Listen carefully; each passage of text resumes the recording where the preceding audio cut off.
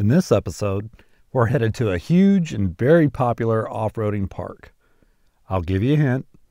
It's in what's known as the Grand Canyon of Texas, the Palo Duro Canyon.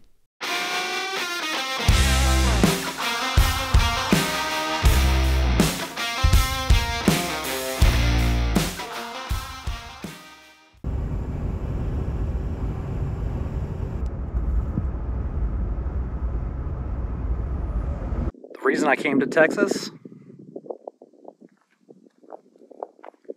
Merus Adventure Park. I'm going to stay the night and do some off roading tomorrow. And then uh, I'm not sure where I'm going to go after that.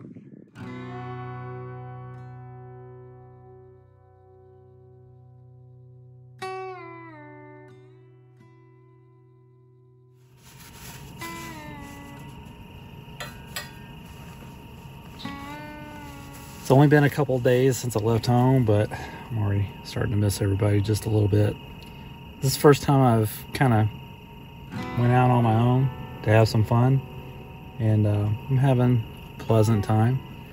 I think it'd be more fun if everybody was able to, if they were able to come with me, but uh, it's not the case. So I'm gonna do some video editing watched some movies tonight. I downloaded a few. Actually, thought ahead, and uh, they've got some Wi-Fi up there at the Merus uh, Welcome Center, I guess you'd call it. Um, you kind of have to stay next to the building, but you can use their internet. And uh, I used it to download some movies before I came out here, and uh, after that, I'm just gonna call it a night. Get up early. You can hit the trails as early as eight o'clock in the morning and um, make sure you've got a GMS GMRS radio with you. Um, that way you can communicate with the team here at Merus. This Jetboil single burner stove's working great so far. I don't know, it's uh, it's a camp stove. I don't know what else to say about it. It does have a nice little uh, igniter there, that little red tiny handle there. You just push it back and then um, it'll create a spark and start it for you. It does have a nice fine control there on the knob. So I'm able to control the flame pretty well. Um, it's doing its job. It's it's not cheap though. I, I'm, I mainly got it because of lack of space. I just wanted something compact and uh, this fit the bill. Saw these at the grocery store, thought I'd try it out. Authentic Mexican taco shells. Never seen that before, but we're here in Texas. And then I like it spicy. Hot seasoning there. Got some diced jalapenos to amp it up just a little bit more. Some black bean refried beans. Got some fresh onions. I got tomatoes in the fridge that I'm gonna dice up. And I've got shredded cheese and sour cream. So we're eating well tonight after I toasted the shells on the burner there. Um, they were super flimsy and falling apart, so I decided to make a taco salad.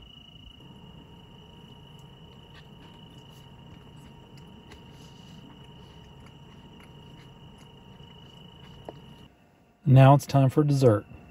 Mmm, Nutter Butters. Well, I couldn't get the sunrise. It's overcast today pretty windy too. That's what happens when you're in Texas on the plains and at the top of the canyon here. But uh, you got the view. A lot of people want to stay down in the canyon, you know, obviously to stay away from the wind. So with it being cold, I'm going to make some coffee. Don't worry, this isn't a coffee montage. Uh, just wanted to give you an update. But uh, yeah, I'll make some coffee and we'll hit some trails.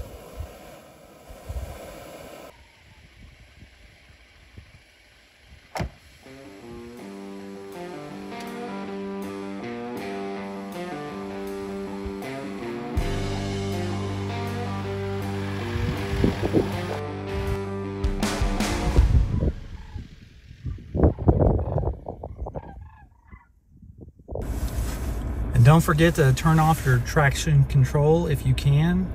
Um, Otherwise, your computer will think that your vehicle's out of control because it sees that you're spinning tires in, say, sand, mud, or loose dirt. And it'll cut power, start applying the brakes while you're trying to get through or overcome an obstacle. And uh, you don't want that to happen. So do that. If you have a Tazer, it'll remember the last setting. So uh, that's nice to have if you can get that for yourself to see over the hood better when you're going over a hill. It's a good idea if you have the ability to jack your seat all the way up. If you're new to off-roading, some of this might look a little gnarly, but it's okay. Uh, if you have any doubts, ask somebody, you know, say, hey, is this uh, vehicle okay for these trails that I'm wanting to do? And that's anywhere you go. But uh, yeah, this is a lot of fun, you know. Uh, these are the green trails so far. I think I'm to try to at least do some blue today.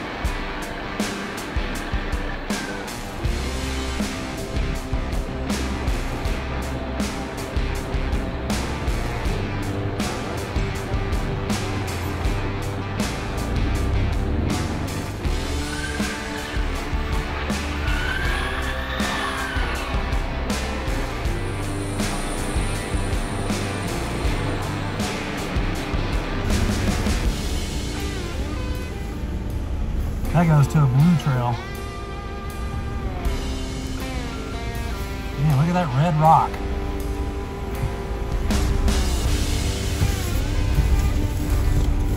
All right, let's go with this.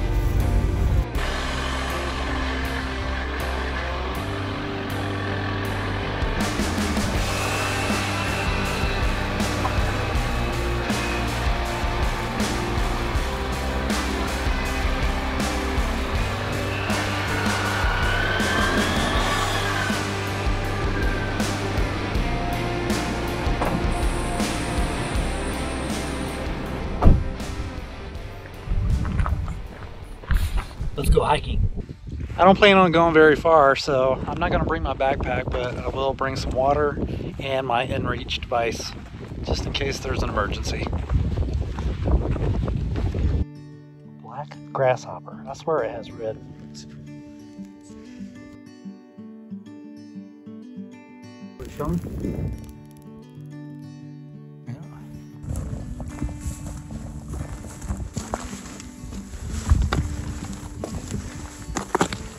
Somebody's making cairns.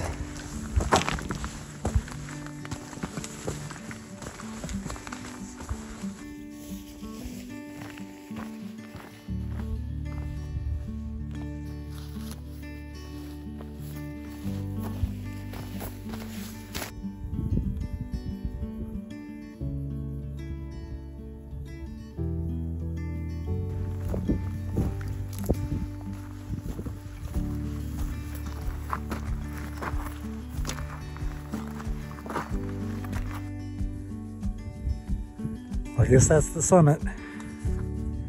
Gotta finish.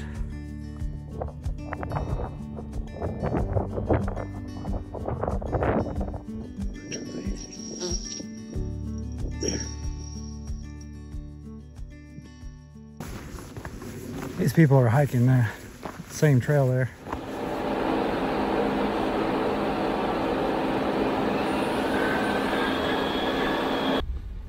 Real quick, I want to take a second and point out that this is not a race. So come out here, be safe, go slow, enjoy yourself. Try not to stress out. And uh, if you are really worried about it, and you're on an easy trail and still stressing over, go with somebody else that has more experience. You know, um, go learn about your vehicle, have confidence in it, what its limitations are.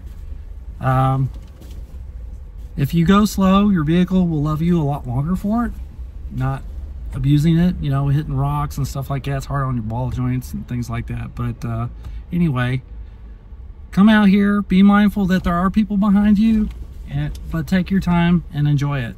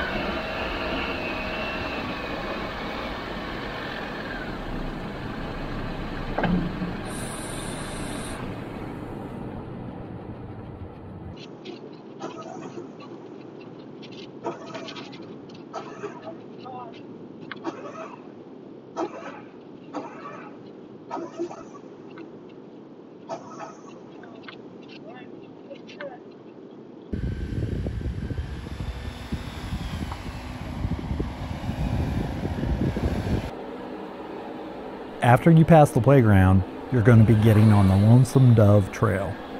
You'll find that this trail is rougher and you'll come across more washouts and ledges.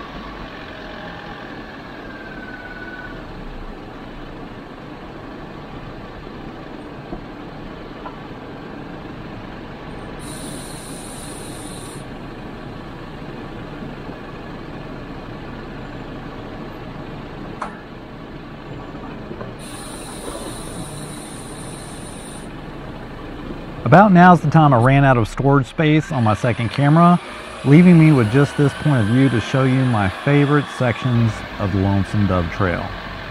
This will give you an idea of what a Merus Adventure Blue or medium difficulty trail is like, keeping in mind that trail conditions can change over time.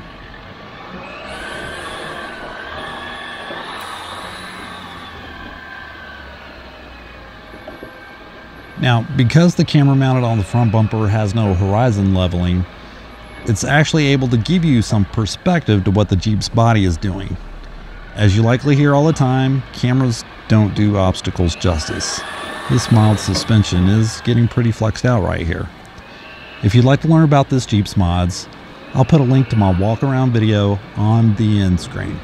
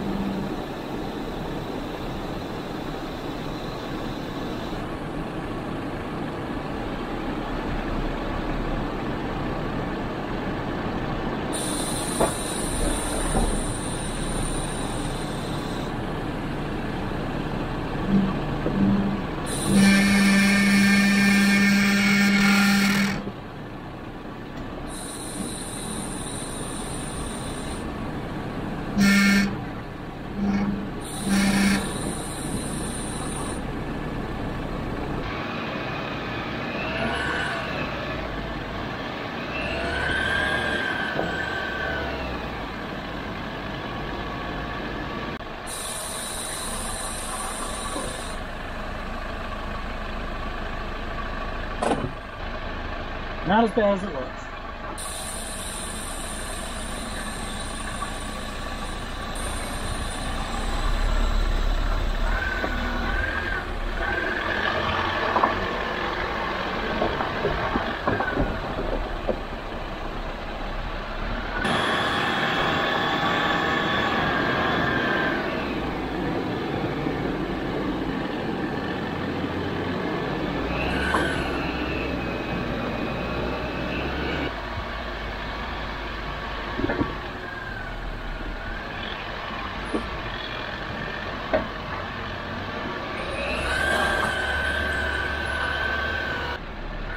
Running out of daylight, so I am trying to pick up the pace here and going for the easier lines where I can.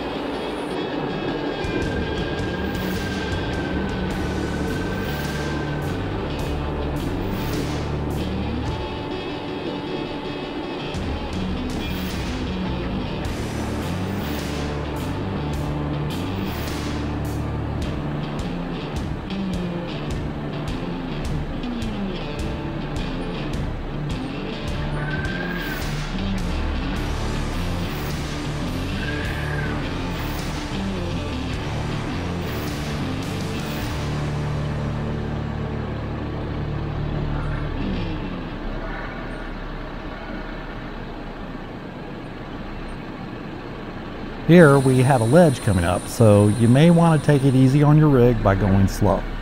I'd say this one is about a foot tall.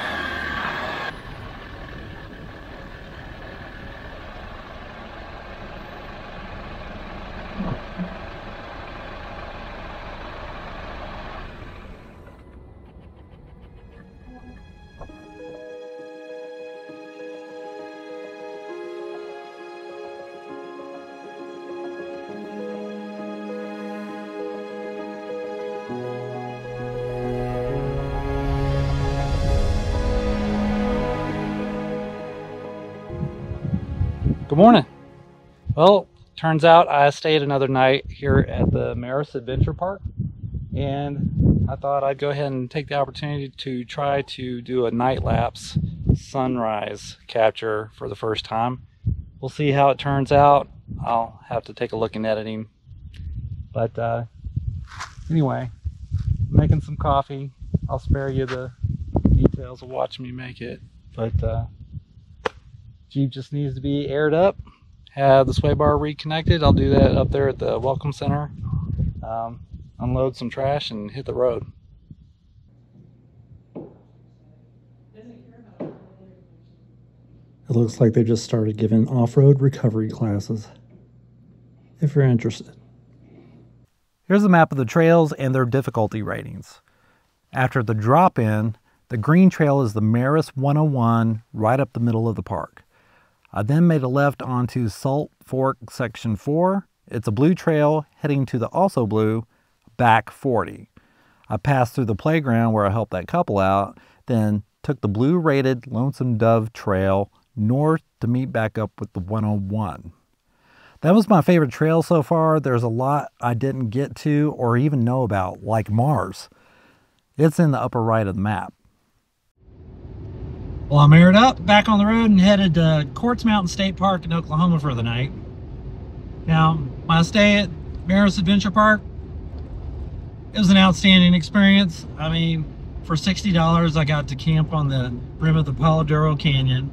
I got to experience some amazing off-roading on some green and blue trails. I played it a little conservatively because, you know, I was solo by myself.